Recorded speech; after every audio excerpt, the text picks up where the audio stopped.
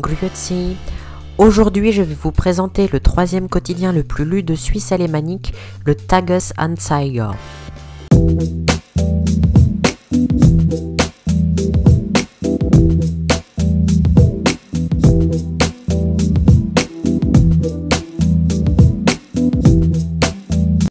Le Tagesanzeiger, en abrégé TA, familièrement Tagi, est un quotidien national suisse de Zurich et appartient au groupe TX. Le premier numéro du Tagesanzeiger parut le 2 mars 1893 avec une longueur de 16 pages. Avec un mélange d'actualité, de divertissement, de sport et de publicité, le Tagesanzeiger s'adressait à un large public et plus particulièrement aux femmes. Trois ans seulement après son lancement, le Tagi était le plus grand quotidien abonné de Suisse. À une époque où le paysage médiatique était purement partisan, il se voyait comme un indicateur impartial qui permettait à toutes les opinions et à tous les acteurs de s'exprimer. Comme l'écrit l'historien Konrad Solinger, cette attitude avait des raisons économiques. Parce que si vous ne jugez, vous ne pouvez ennuyer personne non plus, ni le lecteur, c'est-à-dire l'acheteur, ni l'annonceur, c'est-à-dire le financier a conduit au fait qu'en 1931, un éditorial d'Adolf Hitler intitulé Que voulons-nous des nationaux socialistes et en 1933, sept articles de Benito Mussolini ont été imprimés. Les reportages sur les frontistes dans les années 1930 n'étant pas des critiques et prenaient beaucoup de place. Mais Winston Churchill a également eu son mot à dire dans le Tagi. Les fondateurs du Tagesanzeiger étaient l'éditeur du journal allemand Wilhelm Girardet et l'ancien rédacteur en chef de la N77 Fritz Waltz. En 1905, l'éditeur Otto Konings épousa la fille de l'éditeur Bertha Girardet. Plus tard, Otto Konings a progressivement repris la majorité de l'entreprise qui est devenue plus tard le groupe de médias Tamedia qui est toujours détenu majoritairement par la famille Konings aujourd'hui.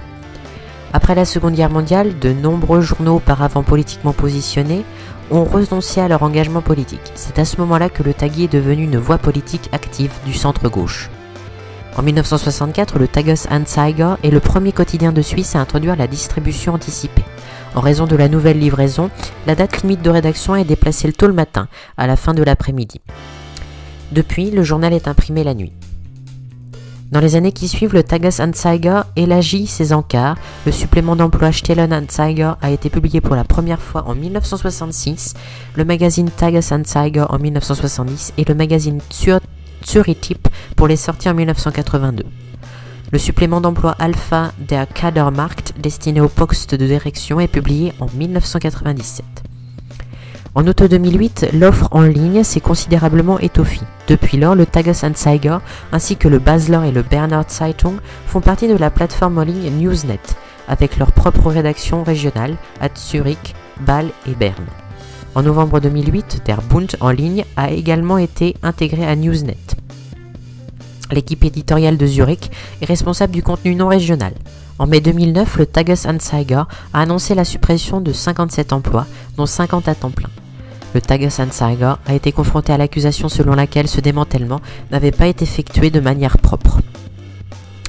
En 2005, le Tagesanzeiger a lancé l'édition régionale Linkes Zäufer et Ziltal, qui a été envoyée à tous les abonnés Tagin de cette région avec le quotidien. En 2006, les éditions régionales pour la rive droite du lac de Zurich, l'Oberland zurichois et l'Unterland zurichois ont été ajoutées. Une nouvelle disposition et structure a été introduite en octobre 2009. Les éditions régionales ont été interrompues en juin 2012. En août 2013, les deux rédactions print et online ont été fusionnées et créeront désormais ensemble les contenus de toutes les chaînes.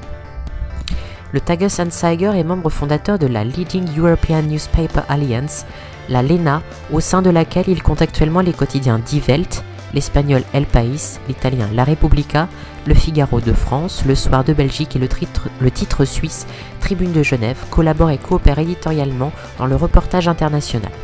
En 2017, un accord de coopération éditoriale dans les reportages depuis l'étranger entre le Tagesanzeiger et le Süddeutsche Zeitung est entré en vigueur.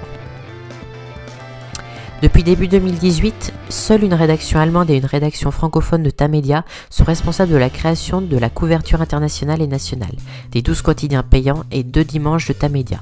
La rédaction en langue allemande est dirigée par l'ancien rédacteur en chef du Tagesanzeiger Sonntagszeitung, Arthur Rüdishauser.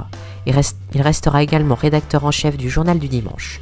La rédactrice chef du Tagesanzeiger était Judith Wittwer jusqu'en 2020. Priska Amstutz et Mario Stoible sont co-rédacteurs en chef depuis le 1er juillet 2020. L'association des journaux de Zurich devait démarrer ses activités le 1er juin 2021. Selon Roger Blum, le Tagesanzeiger est traditionnellement, traditionnellement libéral de gauche. Selon une analyse linguistique de l'Université de Zurich, l'orientation politique de la période 2003-2004 était particulièrement évidente dans les commentaires, tandis que la nouvelle section des nouvelles, comme d'autres journaux suisses de qualité, reflétait le courant dominant. La plus grande proximité politique du parti était donc avec les sociodémocrates.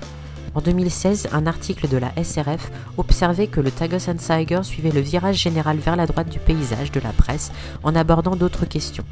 Par exemple, l'initiative populaire fédérale contre l'immigration de masse lancée par le Parti populaire suisse conservateur en 2014 a reçu des rapports majoritairement positifs. Je vous mets le lien du Tagesanzeiger dans la description, je vous souhaite une très bonne lecture.